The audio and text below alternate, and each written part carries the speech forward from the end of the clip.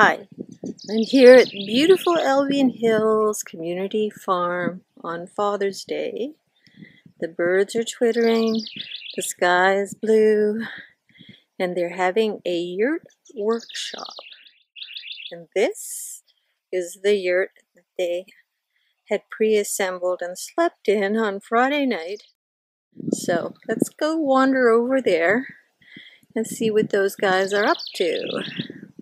Hi, this is Matt. Hey, how's it going? Do you have a company name? Indigo Yurt Co. There you go. And this is Nate. Hello. And you're from North Bay too with That's right. and you make good yurts. That's all I can say.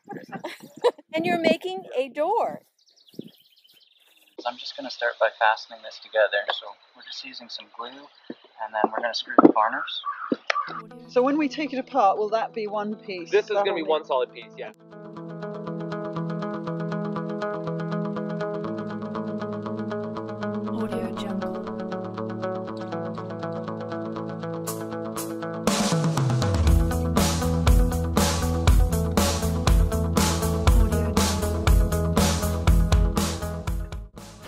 Your That's poles, a good point. you, you don't want them coming in perpendicular. No. You need them all to point right to the Yeah. center. Mm-hmm. So that's I'm going around with the string here and lining up against it, just kind of giving you a little bit of a guideline here with this line. So Yeah. when you're drilling in, you kind of have to match your drill bit to this angle as well as the angle on the jig. You're 50 degrees in, so you know this would come in at this angle, lined up with this and lined up with that.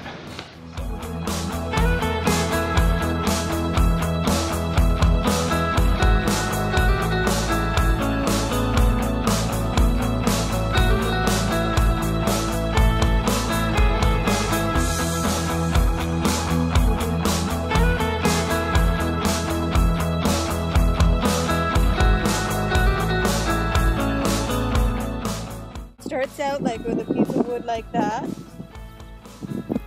And you shave it like You So peel it, and also, so there are two things we're doing. We're getting the bark off, which we've already done on this one, and now we're trimming this down so it can fit in one of those holes.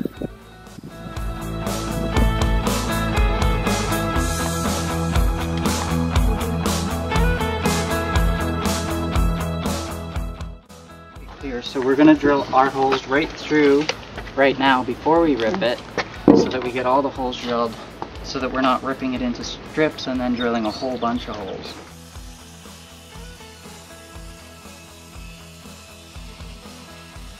This is the figure eight knot, and this is the, the knot that we'll use throughout uh, the whole tying process. So it's exactly what it is, the figure eight. So you do an overhand loop, you do a back, go behind, you have your figure eight, and then you come up through your overhand loop. And again, you're continuing, you still got your figure eight, and then you, you tighten it up, and the knot itself uh, resembles a figure eight as well. Um, so if you've ever done any belaying or climbing, it's very similar. They do the figure eight knot, double figure eight for your um, belaying cords. Um, and so that's the basic knot. It's a stopper knot, it holds very tight, um, and it, it doesn't come undone or fray. So you pull it through right to the end. Um, once you have a couple tied on here, it holds itself on. Um, so now, probably what's easiest is to, to cut it and then finish your knot. So you just kind of eyeball it. I usually do about to the next to the next hole is, is plenty long. Um, the next hole. And then again, this you'll do this a hundred times before tie another figure eight knot before you get going on the next one. You'll get going and you pull it all the way through and you'll be like, da da da da da da. That's good. Thread it through again. Um, so then you just tie another stopper knot. And then same thing. So you tie a figure eight stopper knot on this one as well.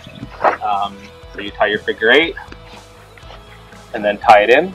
So now this one you're going to want a little tight. So that would be way too loose, right? So that's where the needle nose comes in. And again, once you've done a few, you get kind of a, a you get a hang of it. And so you hold it, you hold it in tight with the needle nose,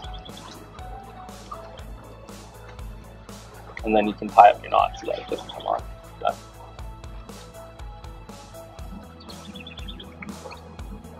And there, and it doesn't. It's not going to be perfect. You're not going to have like you know, it's not going to be super tight as if you took a nut and, and tighten it up and things like that. Um, but that's the whole point. You got a little bit of flex and a little bit of play to it. Um, and then, so yeah, so you continue to do that for each each one as we go through.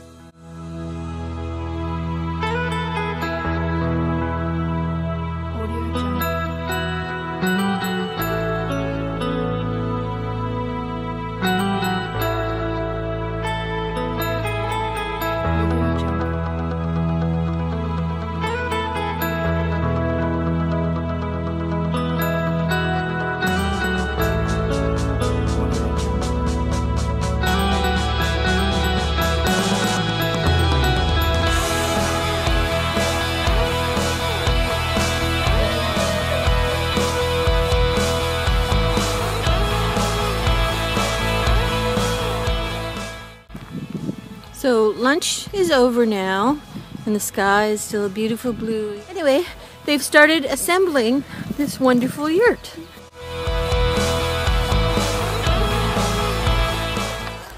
And so this is this is the first little trick of the building of the yurt. Like that's just too low. We're gonna have to bring the walls in for sure. Um, but you know, like like look look how the difference here, right? So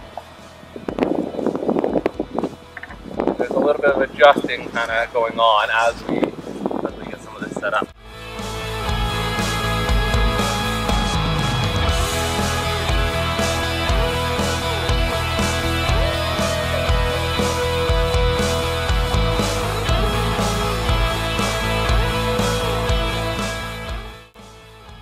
So this is like this beautiful sewing machine that um, Matt sews the canvas that goes around the yurt on. It's like amazing. I learned how to sew on one of these. It has, operates with no electricity.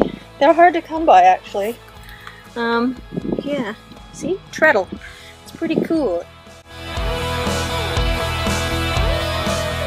Again, evidence of yurts for going back 4,000 plus years. So they they were part of a culture.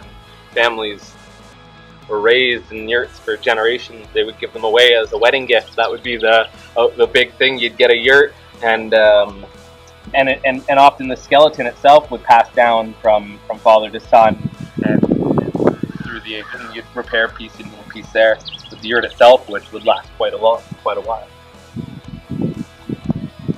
So the well, the yurt, the yurt itself used to be part of the Mongolian lifestyle and integrated into everything um, in terms of just their their house, their spirituality, their living, playing, everything.